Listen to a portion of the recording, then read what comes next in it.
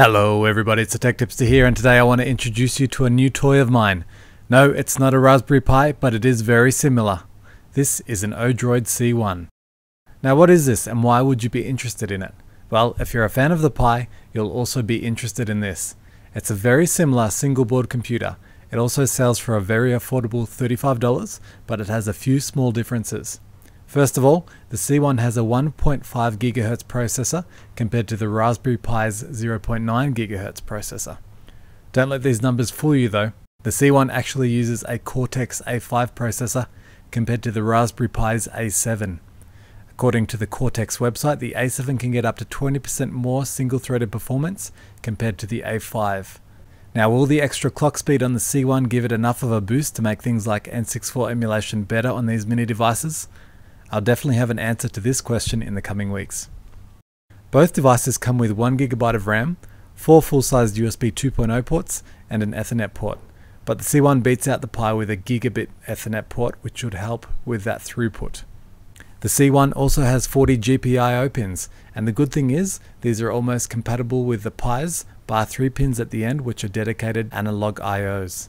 Interestingly, the C1 does not come with an audio jack, but this doesn't worry me considering how bad the audio can be on the Pi when we use this. Another thing to note is that the C1 uses a micro HDMI cable, which is definitely not as common as the full-size one we use on the Pi.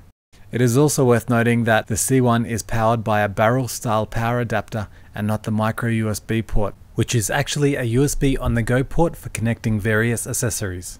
If we flip the C1 over to the back, you will note the different placement of the micro SD card, which is definitely not as convenient as the Pi.